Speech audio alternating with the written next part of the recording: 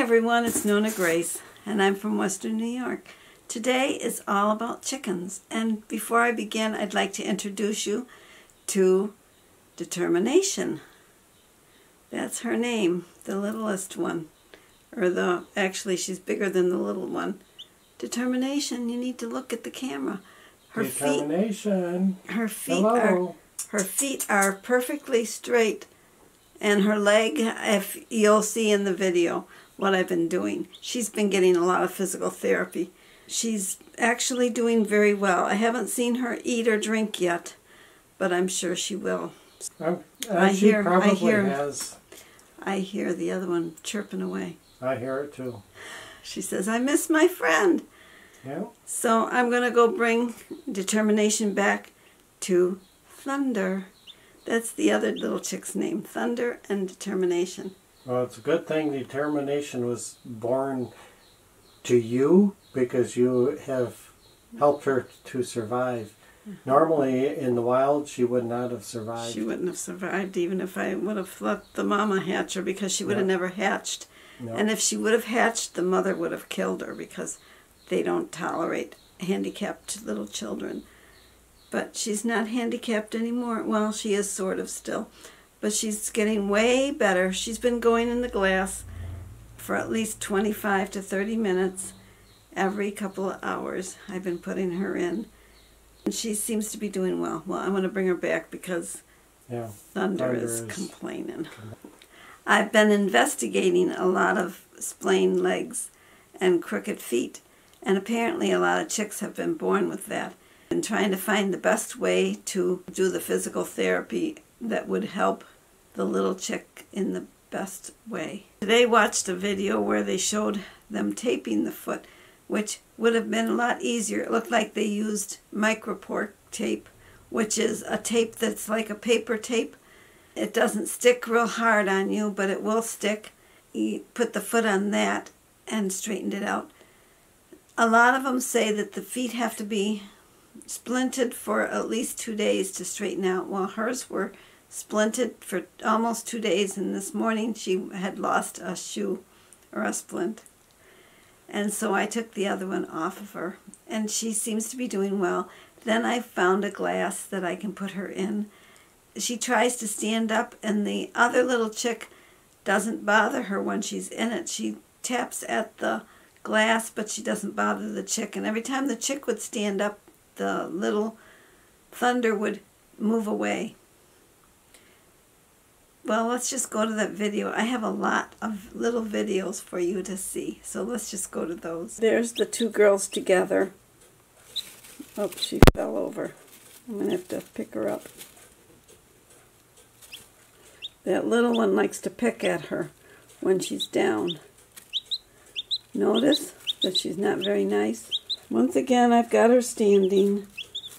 I haven't seen her. Oops. Oops. She's such a fighter.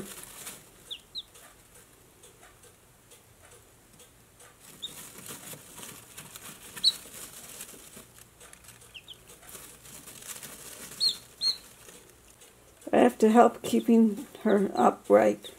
Otherwise, the other one will start picking on her. I just stood her up again, and she's holding her own for a little bit.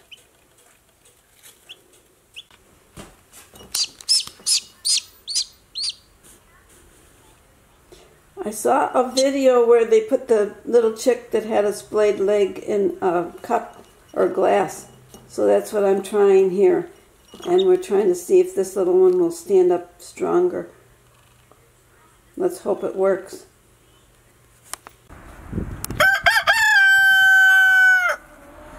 They've been taking a dust bath there for a good half an hour. And Mr. Mister's just now crowing again. And that brown one there, she follows him everywhere he goes. She's like a little groupie. But they're having a good bath in the dust. You have a huge crow there, Mr. Mister. What a beautiful little bird. Actually, a big bird. Beautiful big bird. Look at those wings, how he spreads them out.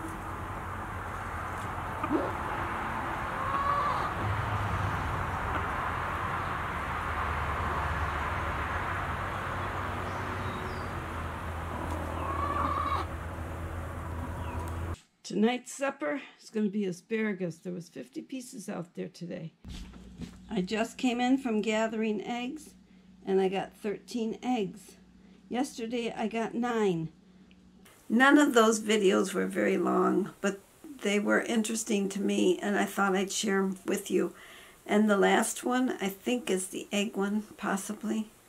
I can't remember what I have, what order they're in. But I did have get 13 eggs. I thought you said 13. I think I said 13 too. Yes. And they laid five eggs in the grass pile.